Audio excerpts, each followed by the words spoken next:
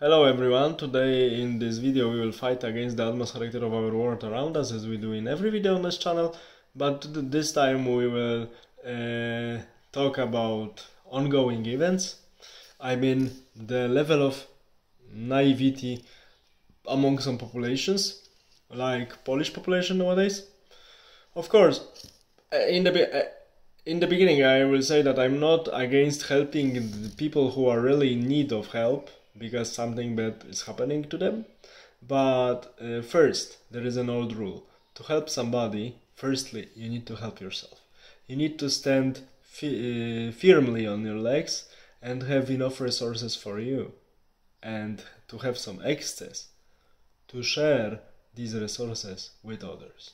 The problem is that currently Polish people, really with great heart, driven by great emotions and also great national complexes because many people uh, would like to be praised by someone from outside and would like to feel that finally someone from outside noticed how nice and how how good people we are. Finally someone especially from the west prized us. Wow so many people are able to do everything to hear for a moment that german or french or US media are prizing us. So many people uh, decided to help millions of Ukrainian people who uh, came to our country due to some uh, military clashes uh, and uh, military operations are ongoing in some parts of their country. They used this opportunity to flee abroad, and our government opened widely the borders. About 3 millions already in few weeks we accepted. Many people are hosting them in their own houses. Prices are soaring. Uh, economy is squeaking. Budget, of course, uh, state budget is not out of the rubber. So soon we gonna have huge financial problems in the scale of entire state. So situation is getting more and more complicated and you know, if you host somebody for a week or two, it's still doable, but longer, it's getting problematic. You know, uh, some people say that guests are like fish. If they are too long in your house, they start to stink. So uh, soon problems will come, and we have millions of such people. Of course, there, there was a uh, huge wave uh, in last years Ukrainians coming to Poland who really wanted to work and some of them contributed to economy some of them contributed to our demography which is fine. Uh, I like it but these were people who really wanted to uh, work wanted to study wanted to develop themselves to contribute to the new society they, they joined recently in.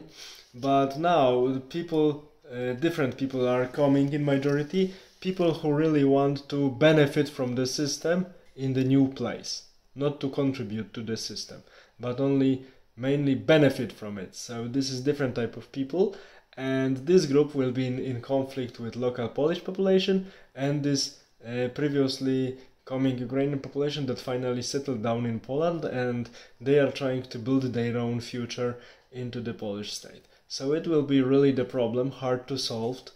It's already uh, growing under the skin, but soon it will go out. And another problem is that uh, taking many, many, many newcomers, not only from Ukraine, because also these people uh, accumulated recently in Belarus uh, by Lukashenko from the Middle East, that last year he just simply created artificial uh, refugee crisis now he wants to get rid of these people so he is pushing them through with the crowds of the uh, refugees from ukraine. So this crowd that's going into poland it's not only ukrainian is a little bit more diverse. So uh, problems are more and more complex and they are growing each day phys- physically and also mentally. And uh, also economically because prices are soaring and uh, living conditions are dropping. We will see how long it's, it's gonna happen before people wake up and they, they will see that they fall victim to some propaganda manipulation based on emotions and they also succumb to their own uh, inferiority feeling towards different nation and incredible uh, wish to be prized for this what we do by especially western media.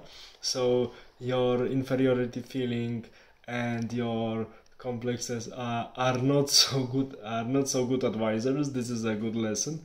And, and this is i think historical phenomenon that uh, within few weeks nation of not so big size accepted so many millions of refugees and uh, there is also another issue. We are not one of the richest countries in the world and even uh, such rich countries like Germany claimed recently to Polish government hey maybe you can stop these trains with these refugees from the east because we are not able to accommodate them properly. So Germany one of the richest countries in the world and still one of uh, one of uh, countries that is very well organized and uh, working very well. Still, uh, saying that we are not able to accommodate more, but such country with problems and much poorer than Germany is getting more and more and more and more refugees and offering them more and more and more spontaneous help.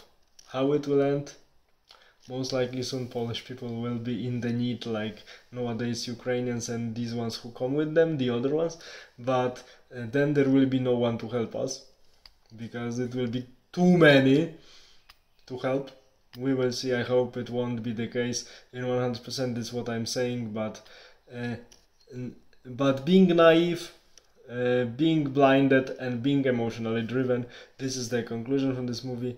These uh, three things are not the best advisors in life, and to help somebody, first you need to stand uh, firmly on your le legs and you have to have access to resources, access of resources to share with others. All the best, have a nice day, bye.